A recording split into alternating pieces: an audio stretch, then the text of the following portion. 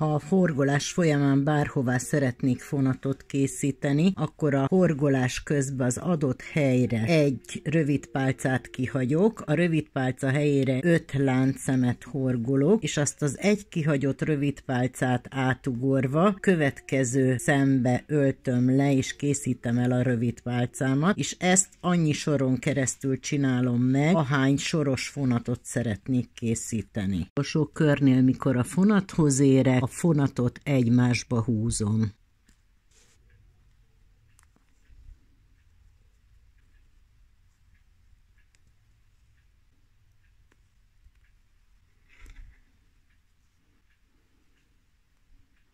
és a fonat utolsó szemét úszószemként horgolom le, és úgy megyek tovább az oldalán a doboznak.